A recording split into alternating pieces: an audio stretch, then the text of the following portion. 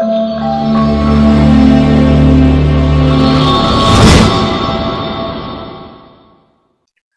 friends, myself Rakesh. Welcome back to UiPath Expo Hub to another new chapter of learning how to add multiple users to Orchestrator, right?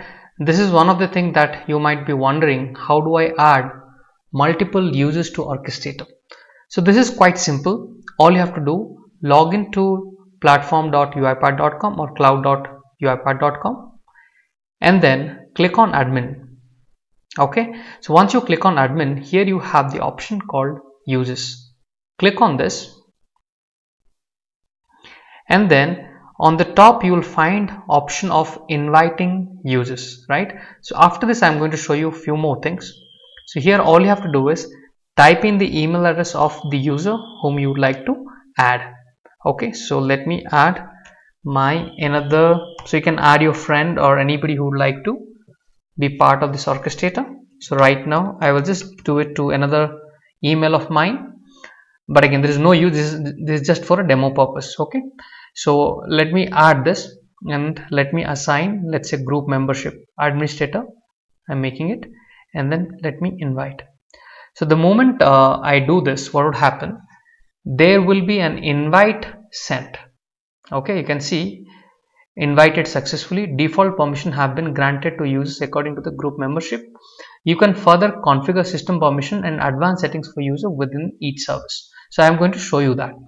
So the first thing i will do is uh, you know go to go to that mailbox or ask the user or your friend to go to his or her mailbox and then look for that email. So you'll get an invite email uh, okay you can see there's an email which has come so let me open that email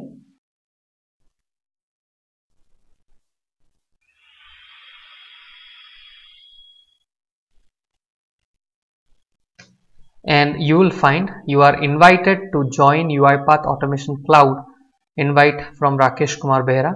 So let me accept the invite. So the moment I accept, it would allow me, let's say your friend is doing this, so it will allow your friend to log into the same orchestrator account. All i have to do is sign okay? Sign up with let's say microsoft because i'm using the microsoft account. Okay? So the moment uh, i do this what would happen? Let this app access your info say yes. Okay so this is one time process. So once your friend has signed up i confirm keep and continue. Okay. So right now it would take me to the same orchestrator page but as a different user. Now as a main uh, admin uh, whom I have invited my other friends right? So right now what I'm going to do how do I manage this? I mean let's say um, in the future uh, there are many questions in the forum asking how do I remove the user? So let me tell you it is possible. You know many have replied no it's not possible. Just change the role and all that. But let me tell you it is possible. All you have to do is go to the users. Again the place where you have added the same place you can remove also. So this is the uh, you can see that right? Hotmail.com or the other friend you, whom you have added. So all you can do is you know so right now if you see um, uh, I, you know it, it has been it has been blocked right? I am not able to do this from here. So the very first thing i you should do is first of all you should go to the services and click on hr i mean your services. So once you go to the page okay and first of all you see as which user you have logged in. So if you see it here right now it has logged in me as uh, uh, as hotmail.com okay? So what i should do is i should sign out because i'm doing it on the same system. So let me sign out and let me try to log in back with my normal credential with gmail.com continue with google. So if you see this as an administrator of orchestrator because i am the primary user i should have option to remove the user whom i have invited. Okay so if I go here and go to users and if you see it now now you see this has not been blocked. So rakesh kumar behra hotmail.com i have option to remove. Did you get it? So this is how you remove it. But again the next set of question is how do i manage roles for this user right? So to manage roles if you go to your service here you have something called manage user. So if you click on this one it would directly take you to the users management page if you remember. So if you scroll down on the orchestrator page right? So here you have something called users. So this is the user man management page and you can see that rakesh874u hotmail.com has been already added.